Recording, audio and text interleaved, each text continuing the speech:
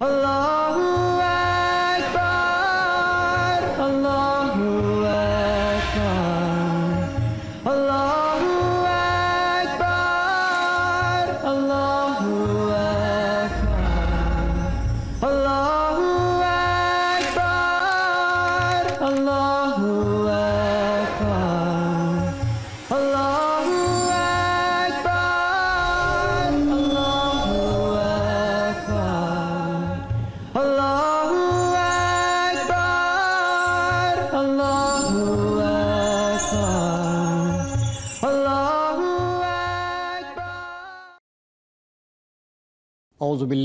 अज़बिल्लिमिनशैतरजीम बसमीम काबिल एहतराम नाजरीन।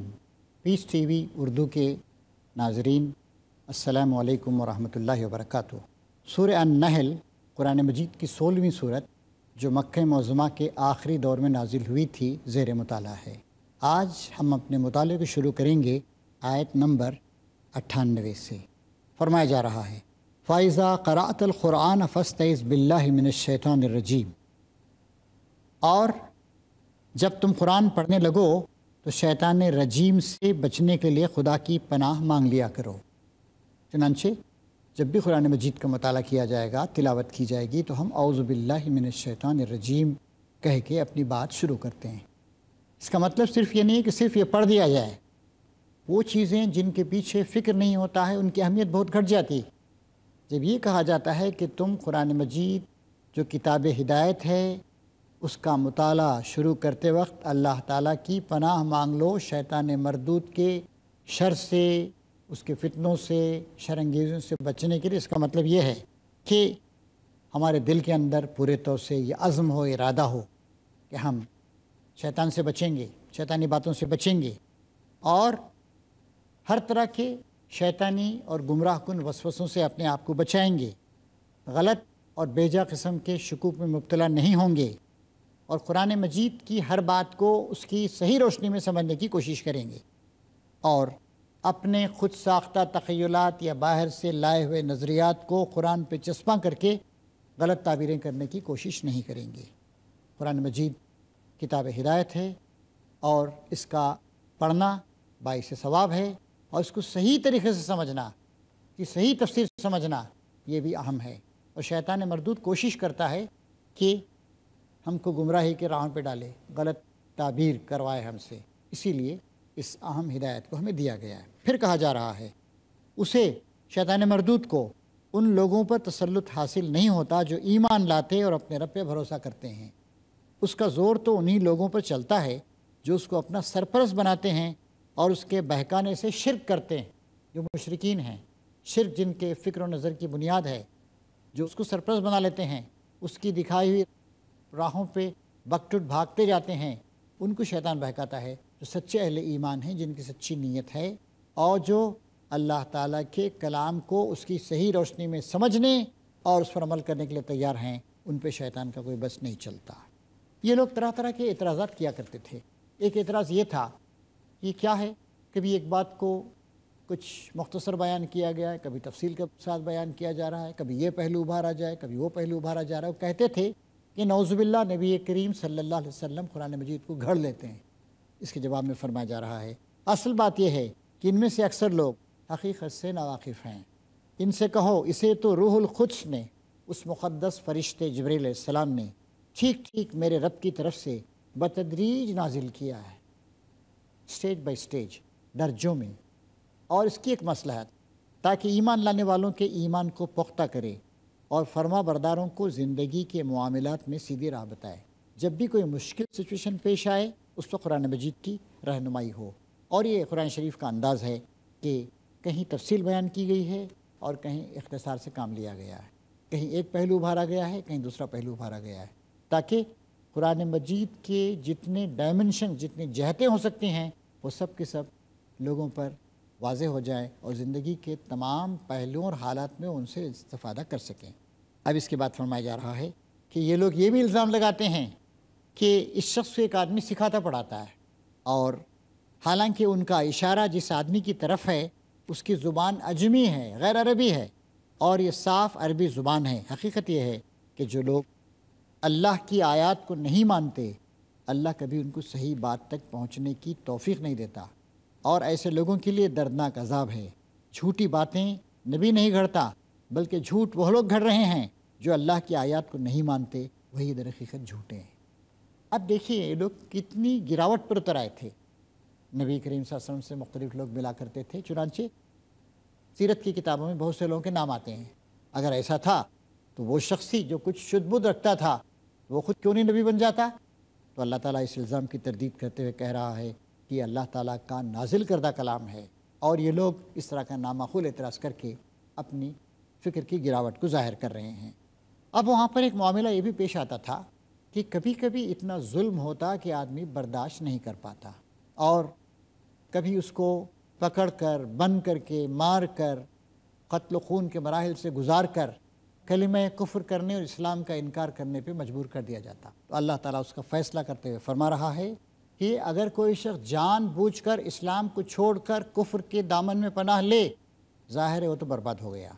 लेकिन अगर कभी दिल की आमादगी के बग़ैर मजबूरन कोई शख्स कलम कुफ्र कह दे तो अल्लाह ताला मुआफ़ करने वाला है। इसमें देखिए दो रास्ते हैं।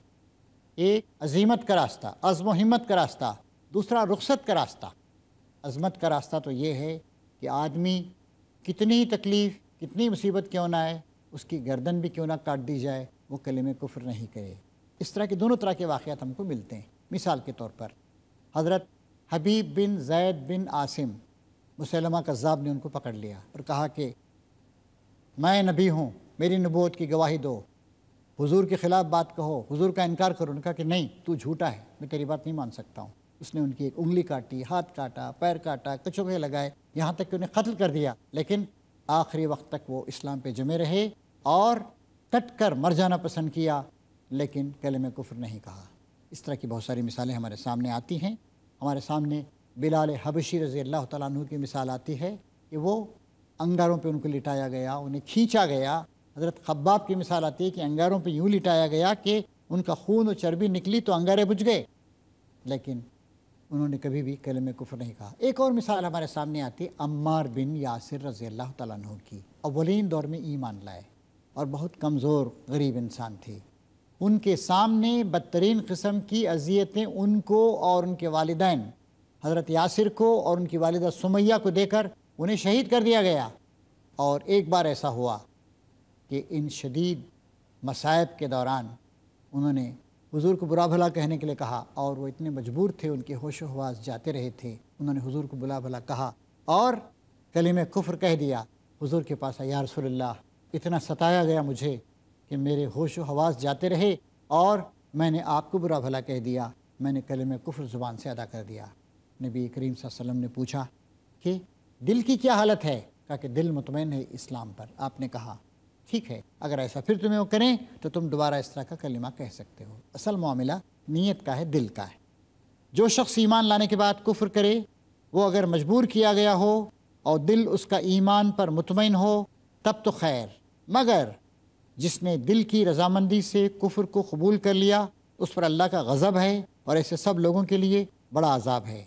ये इसलिए कि उन्होंने आखिरत के मुकाबले में दुनिया की ज़िंदगी को पसंद कर लिया और अल्लाह का फ़ायदा ये है कि वो उन लोगों को राह नजात नहीं दिखाता जो उसकी नेमत का कुफरान करें। ईमान कितनी बड़ी नेमत। ईमान का तो हक़ ये है कि अजीमत की राह इख्तियार की जाए और कभी भी कलीम कुफर ज़ुबान पर ना लाया जाए। और ज़रूरत पड़े तो इस जाँ को जाफरी के सुपत कर दिया जाए। ये वह लोग हैं जिनके दिलों और कानों पर अल्लाह ने मोहर लगा दी है। ये गफलत में डूब चुके हैं। ज़रूर है कि आखिरत में यही खसारे में रहेंगे। अब इसके ख़िलाफ़ वो लोग जो इस्लाम पे जमे रहे, उनका ज़िक्र हो रहा है। बाखिलाफ़ इसके जिन लोगों का हाल ये है कि जब ईमान लाने की वजह से सताए गए तो उन्होंने घर बार छोड़ दिए, हिजरत की। राह खुदा में सख्तियाँ झेलें और सब्र से काम लिया। तो अल्लाह ताला फरमा रहा है कि अल्लाह ताला उनके लिए गफ़ूर और रहीम है, मगफ़रतों से उनको नवाजेगा। इन सब का फ़ैसला उस दिन होगा, जबकि हर मुतनफ़िस अपने ही बचाव की फ़िक्र में लगा हुआ होगा, क़यामत के दिन, और हर एक को उसके किए का पूरा पूरा दिया जाएगा, और किसी पर ज़र्रा बराबर जुल्म ना होगा। इसके बाद फरमाया जा रहा है कि, लोगों, अल्लाह ने जो कुछ हलाल और पाक रिस्क तुमको बख्शा है, उसे खाओ, और अल्लाह के एहसान का शुक्र अदा करो। अगर तुम वाकई उसी की बंदगी करने वाले हो। हलाल और हराम का इख्तियार कुल्ली तौर पर अल्लाह ताला के पास। और एक बात याद रखिए, हलाल और हराम का ताल्लुक सिर्फ़ खाने पीने से नहीं है कि फ़लाँ चीज़ का पीना हलाल और हराम है या फ़लाँ चीज़ का खाना हलाल और हराम है। अल्लाह ताला ने अकायद में, अखलाक में, हमारे मुख्तलिफ़ तौर तरीक़ों में, हर एक में हलाल हराम के हदूद मुकर कर दिए हैं। हमें इन पूरे हदूद का पूरी ज़िंदगी में ख्याल रखना है। लोग गलतफहमी का शिकार होकर सिर्फ़ कुछ खाने पीने की चीज़ों के बारे में हलाल और हराम का ख्याल रखते हैं। हालाँकि तिजारत में मीशत में माशरत में, शादी ब्याह में और ज़िंदगी के तमाम मामलात में हलाल और हराम के क़ायदे मुकर कर दिए गए हैं। उन सब में हमको अल्लाह ताला के अहकाम का ख्याल रखना चाहिए। और इस वक्त हमारे लिए ब्रेक का वक्त है। ब्रेक के बाद इन हम सूर अनहल की आयात का मुताला जारी रखेंगे।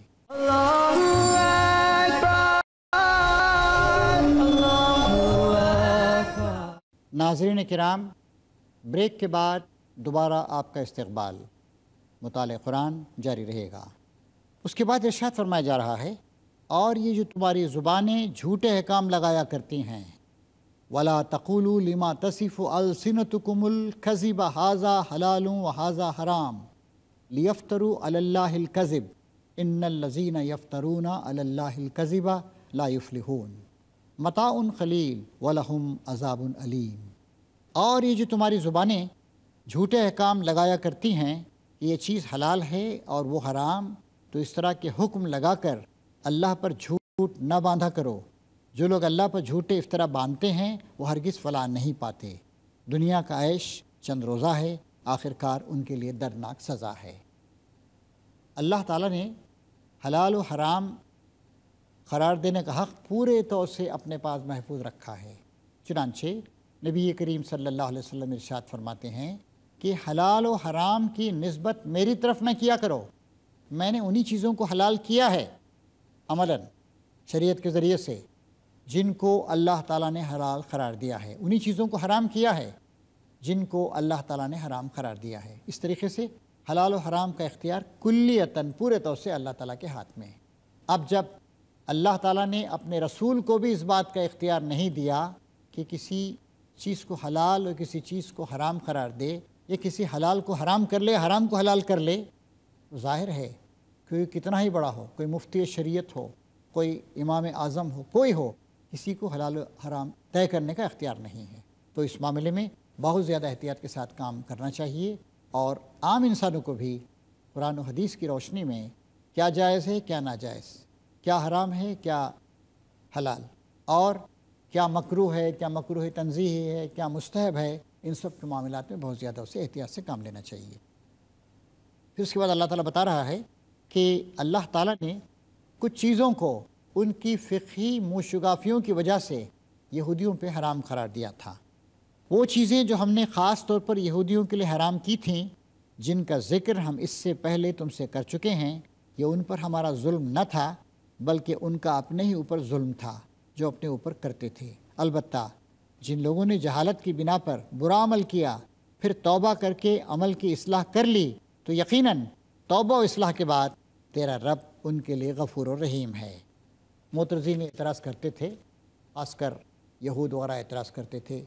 कि भाई, हमारे यहाँ तो कुछ चीज़ें हराम थी, अब ये कैसे वो चीज़ें हलाल हो गई? मिसाल के तौर पर, बनी इसराइल में ऊँट हराम था, और ये भी इब्राहिम आसमाम की शरीयत में हराम नहीं था, या उनके यहाँ खरगोश को हराम कर लिया था उन्होंने, बतख को हराम कर लिया था, या शुतुरमुख को हराम कर लिया था। हालाँकि ये बनी इसराइल की फ़िकी मुशगाफियों की वजह से बाद में ऐसा हुआ था, वरना इब्राहिम की शरीयत में ये चीज़ें हराम नहीं थीं। अब इसके बाद हमारे सामने इब्राहिम आसमाम का ज़िक्र आ रहा है। इब्राहिम आसमाम का तौर तरीक़ा क्या था? कैसे वो एक बंदे खानिद थे? अल्लाह ताला के फरमा बरदार थे। क्योंकि बहरहाल इब्राहिम आसमाम से यहूदी भी अपना रब ज़ाहिर करते थे। यहाँ फरमाया जा रहा है, इन्ना इब्राहिम काना उम्मतन ख़ानत हनीफ़ा। यकीनन इब्राहीम अलैहिस्सलाम अपनी ज़ात में एक उम्मत थे। इससे उनकी अहमियत ज़ाहिर होती। आज भी हम कहते हैं, उर्दू ज़ुबान में मुहावरा है कि वो अपनी ज़ात में एक अंजुमन है। या इंग्लिश में कहते हैं is an institution in himself Ibrahim एक उम्मत थे, एक पूरी कौम थे गोया। यानी इब्राहिम सलाम का तौर तरीक़ा, उनका जज्ब ईमानी, उनकी वफ़ादारी, उनकी ताबेदारी, उनका अपना सब कुछ अल्लाह के हुक्म पर एक अदना इशारे पे क़ुरबान कर देने का जज्बा और उनकी पूरी की पूरी ज़िंदगी। उन्हें एक उम्मत का सा बड़ा मुकाम अता करती। है इन्ना इब्राहिमा खाना उम्मतन, एक पूरी उम्मत थे वो। खानतन लिल्ला हनीफ़ा। और वो अल्लाह ताला के फरमा बरदार थे मुती फरमान थे और यकसू थे। इधर उधर देखना, कभी इसकी इबादत, कभी उसकी इबादत करना। नहीं, एक तरीक़े पर जम गए, अल्लाह ही के हो गए और पूरी की पूरी ज़िंदगी अल्लाह ताला की राह में उन्होंने लगा दी। वो कभी मुशरक ना था। अल्लाह की नेमतों का शुक्र अदा करने वाला था। अल्लाह ने उसको मुंतखब कर लिया और सीधा रास्ता दिखाया। इब्राहिम सलाम अबुल अम्बिया कहलाते हैं। आदम सलाम अबुल बशर कहलाते हैं सारे इंसानों के बाप। और सैदना इब्राहिम सलाम जो नबी करीम सल्लल्लाहु अलैहि वसल्लम से तकरीबन ढाई हज़ार साल पहले दुनिया में तशरीफ़ लाए थे और दुनिया के कई मुल्कों में घूम कर फिर कर अल्लाह ताला के दीन की गवाही दी थी। उनके बारे में अल्लाह तबारक ताला फरमा रहा है कि वो कभी मुश्रक ना थे शिर का शायबा तक ना था। पूरी ज़िंदगी तोहद की गवाही देने में गुजरी।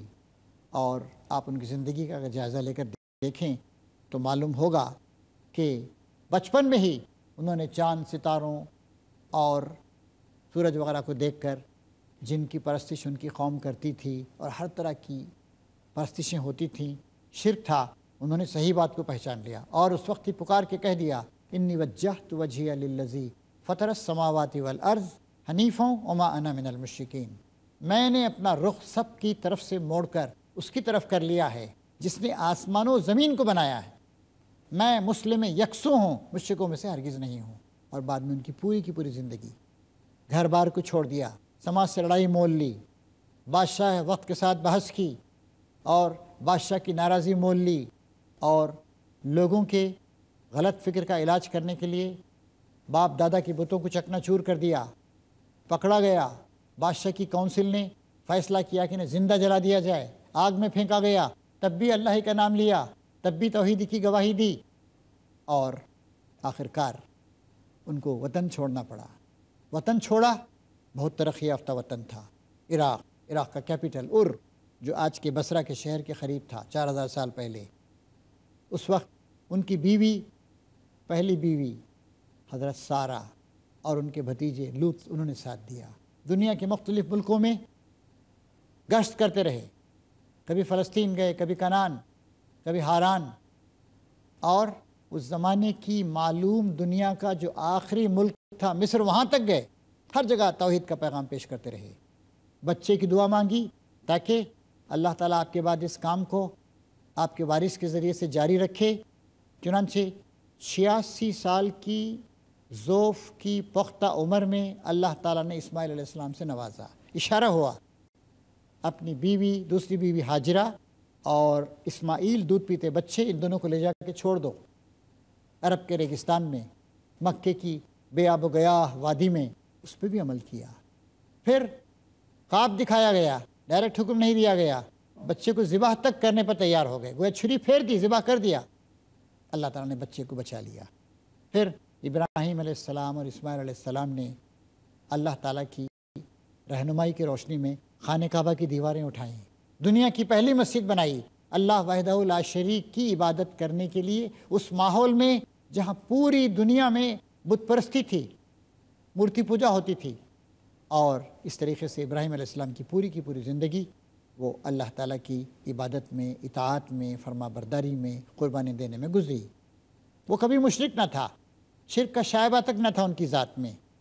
शाकिर अन उम, अल्लाह की नेमतों का शुक्र अदा करने वाला था। इब्राहिम अलैहिस्सलाम की ज़िंदगी के इस पहलू से हम अहल ईमान को ये सबक मिलता है कि हमको अल्लाह ताला की नेमतों को जानना चाहिए और उसकी शुक्रगुजारी का रवैया अख्तियार करना चाहिए। बेशुमार नेमतें अल्लाह ताला की। इन तउद्दू नेमत अल्लाह अल्लाह की नेमतों को गिनना चाहो तो गिन नहीं सकते हो, इतनी नेमतें। ज़िंदगी एक नेमत है, वसायल हयात एक नेमत है गौर फ़िक्र करने की सलाहियत एक नेमत है अखल खिरत एक नेमत है, और फिर ईमान एक नेमत है, इस्लाम एक नेमत है, कुरान एक नेमत है, अल्लाह के रसूल वसल्लम का पाकिज़ा नमूना और हमारी जो तवील तारीख़ अजीम तारीख़, ये सब की सब नेमतें हैं। तो इब्राहिम आसमाम को जो नेमतें भी दी गई शाकिर अन उम, उन नेमतों का शुक्र अदा करने वाले थे। अल्लाह ताला कहता है कि इजतबा हो वह हदा हो इला सिरात मुस्तकीम, अल्लाह ने उनको मुंतखब कर लिया और सीधा रास्ता दिखा दिया। हम भी अल्लाह ताला की नेमतों का अगर शुक्र अदा करेंगे तो अल्लाह ताला हमारी रहनमाई फरमाएगा। बनी इसराइल को नसीहत की गई थी, इब्राहिम के बाद, मूसा के ज़माने में। शकर तुम ला अजीद कुम शुक्रगुजारी का रवैया अख्तियार करोगे तो मज़ीद अता करूँगा अपनी नेमतें। और अगर ना शुक्रपन का कुफर का रवैया अख्तियार किया तो याद रखो कि मेरी सज़ा बहुत सख्त है। तो अल्लाह ताला ने इब्राहिम आसमाम को उनकी नेमत शनासी की वजह से, उनकी खुदा शनासी की वजह से, उनकी शुक्रगुजारी के जज्बे की वजह से अल्लाह ताला ने उन्हें मुंतखब कर लिया। इन्नी जायलू का लिन्नासी इमामा, मैं तो जो दुनिया जहान के लोगों का इमाम बनाने वाला हूँ।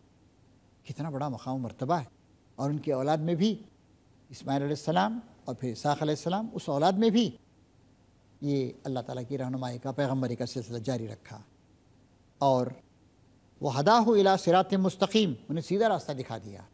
हम देखिए हर नमाज़ में एह दिन सिरातमस्तकीम सीधे रास्ते की दुआ करते हैं। शुक्रगुजारी का रवैया अख्तियार करेंगे। अल्लाह के अहकाम की मुखलसाना पैरवी करेंगे तो अल्लाह ताला हमारी रहनमाई फरमाएगा, मज़ीद फरमाया अल्लाह ताला ने। वातना हो फिर दुनिया हसना, वो इन हो फिल आखिरती लमिन सालहीन। दुनिया में अल्लाह ताला ने उनको भलाई दी, और आखिरत में यकीनन वो सालहीन में से होगा। इब्राहिम अलैहिस्सलाम और दुनिया में पूरी की पूरी ज़िंदगी वफ़ादारी के साथ, अल्लाह ताला की ताबेदारी में, अल्लाह के दीन की इशात करते हुए तोहद का दर्स देते हुए गुजार दी। पूरी ज़िंदगी में एक ही फ़िक्र दामनगीर थी कि किस तरह अल्लाह ताला के भटके हुए बंदों को दोबारा अल्लाह ताला की बारगाह में लाऊं, खुदा की दरगाह पे लाऊं, खुदा के आगे सर झुकाऊं। और अल्लाह ताला कहता है कि वो आते ना फिर दुनिया हंसना, दुनिया में हमने उनको भलाई दी। और इब्राहिम अलैहिस्सलाम को इतनी बड़ी भलाई दी कि नबी करीम वसल्लम ने वैसी ही भलाई की दुआ अपने लिए और अपनी उम्मत के लिए सिखाई। वो इन फिर आखिरत सालहीन, और ये आखिरत में यकीनन वो सालहीन में से होंगे। हमारी ज़िंदगी का भी तो यही तो मकसद है कि दुनिया में कामयाबी, सुरखरुई, शरीफाना रवैया, इबादत गुजारी, ताबेदारी और आखिरत की कामयाबी। हाजिर कराम इन आयात से जो अभी अभी आपके सामने पड़ी गई हैं, हमारे सामने बात आती है कि आज की इस लंबी, चौड़ी, वसी व रीस, पेचीदा दुनिया में जहाँ नज़रियात की कशमकश हो रही है, उम्मत मुस्लिमा के लोगों को दोबारा कुरान की तरफ़ आना चाहिए, हदीस की तरफ़ आना चाहिए, अल्लाह और अल्लाह के रसूल का दामन थाम लेना चाहिए और अपनी ज़िंदगी को अखलास से मामूर कर लेना चाहिए कि हमारी ज़िंदगी का एक एक सांस अल्लाह की मोहब्बत और बंदगी के एहसास से मामूर हो जाए और हम अपनी पूरी की पूरी ज़िंदगी को तन मन धन के साथ अल्लाह ताला के रास्ते में लगा दें। आखिर में अल्लाह ताला से दुआ है कि अल्लाह ताला हमें सैदना इब्राहिम सलाम के और अम्बिया कराम के और मोहम्मद वसल्लम के तरीक़े पर चलने की तोफ़ी अता फ़रमाए। आमीन या रबालमीन वाखिर दावाना अनिलहमदल रबालमीन अल्लाह